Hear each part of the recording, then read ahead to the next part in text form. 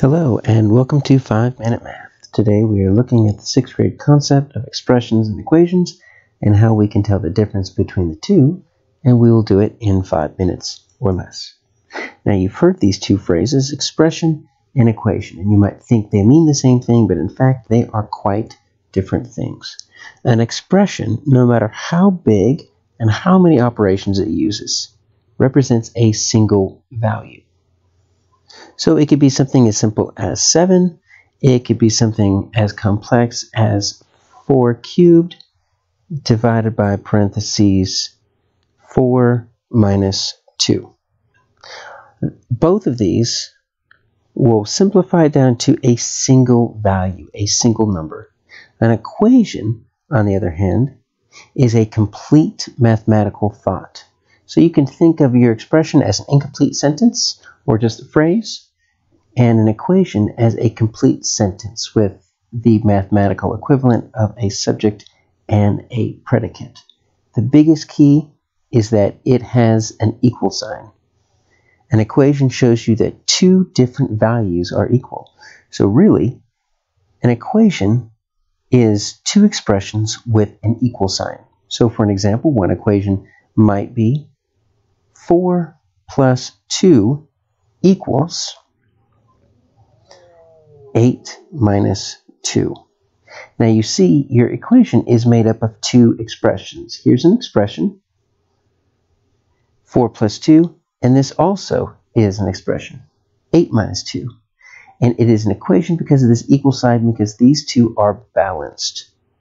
So an expression is just a single value, whereas an equation is a balance of two different expressions. So what happens to expressions and equations when we use variables? You see we have an x in both our expression and our equation. Well, with an expression, there's no equal sign. And so the value of that expression, because remember, expressions are just a single value, is going to change based on what I replace the x with. So if I want to make my x into a 1, well, I can simplify it like this. 4 times 1 minus 2 squared. So really that's 4 minus 2 squared. So that's going to be 2 squared, which makes 4.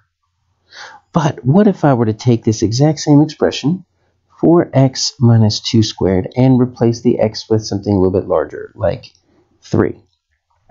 Well, that would be 4 times 3 minus 2 squared, so that's going to be 12 minus 2 squared, so that's really 10 squared, which makes 100. So you see with an expression, we don't know what x is going to be, and the value will change based on what we replace the variable with. Now, equations are different. Remember, our equation, the equal sign, so shows that these two expressions, because that's an expression and that's an expression, shows that they are balanced.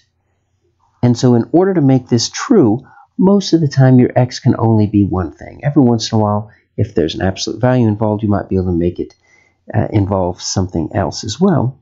But let's see what we can get this x to be here. So we know how to deal with these equations. We need to get all our variables on one side and our constants on the other. Let's get our like terms together. So I'm going to uh, subtract 9x from both of these sides here. And so that's going to give me 18x minus 9x. That's going to be 9x minus 2 equals, those two cancel out, 7.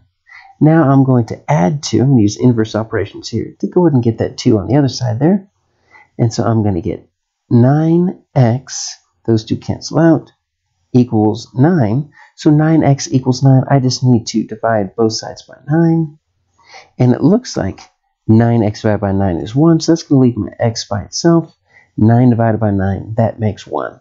So in this case, to make this equation true, it looks like x needs to be 1. Let's see what happens when we plug that back into the equation. So you see here, I've rewritten our equation, and I've just put the 1 in here for the x. And so 18 times 1, that's just going to be 18 minus 2. 9 times 1 is going to be 9 plus 7. So 18 minus 2 is 16. 9 plus 7 is 16. So in this case, x equals 1 makes our equation true.